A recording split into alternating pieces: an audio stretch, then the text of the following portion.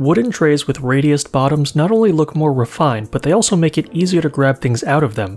So today, on Catterday, let's make a simple wooden tray using Carbide Create and a bowl bit on the Shapeoko. I'll start by defining my setup. I want my canvas to be at least 5 or 6 inches in each dimension, and I'll assume my stock is 0.76 or 0.77 inches thick. The reason for having this extra margin is that I don't want the first cut layer to be too deep. If the stock is thicker than expected or slightly elevated by double-sided tape, then your first toolpath step down will be pushing through more material than the rest of the toolpath layers. This can produce more deflection in the tool and the machine and lead to visible lines on the walls. I'll set my origin to the bottom of the stock and then get to designing. We really only need two shapes to define this tray, the inner and outer profile. I'll start by drawing a hexagon with about a 2 inch radius, then I'll draw another one that's offset from the first by about a quarter inch. I'm doing this with the offset feature to ensure that the shapes are perfectly concentric. And that's all we need to do before we move on to the next step, which is making toolpaths.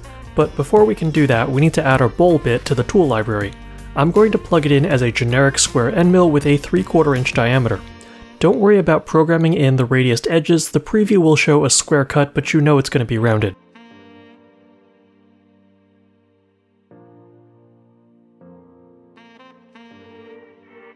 I'm going to select my inner contour and apply a pocketing toolpath to it.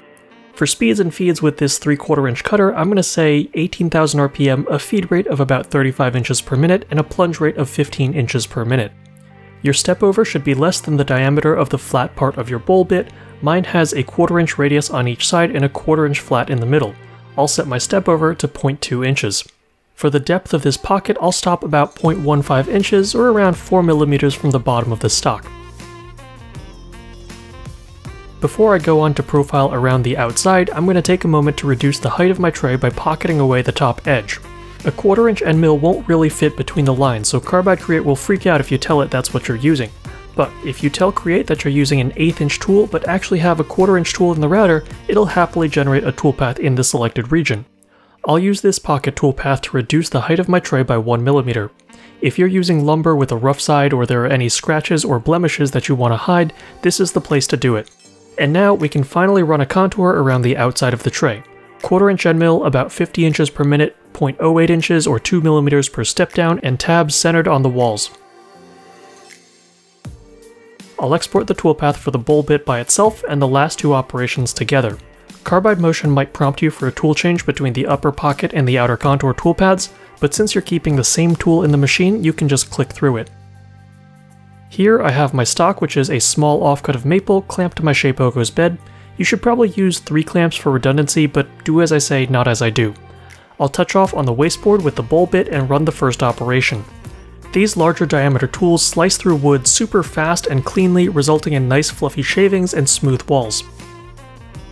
Swap in the quarter inch end mill when you're done, touch it off, and run the second program.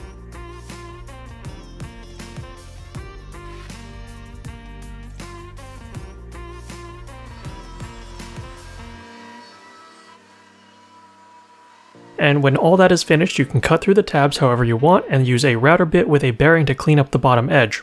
This could be a flush trim bit, chamfer bit, but I like using a roundover bit to match the radius on the inside. Do a little hand sanding to clean up the rest of the profiles and maybe the floor of the pocket, wipe on a protective finish, and you have a super easy to make catch-all tray. Hope this video gives you a little project inspiration for this weekend. If you enjoyed it, give us a thumbs up, and if you have any other simple projects you'd like to see us demonstrate, drop them in the comments below. I can't promise we'll hit all of them, but if it's a good idea, we'll try to do it. Good luck, and have fun machining your own projects, folks.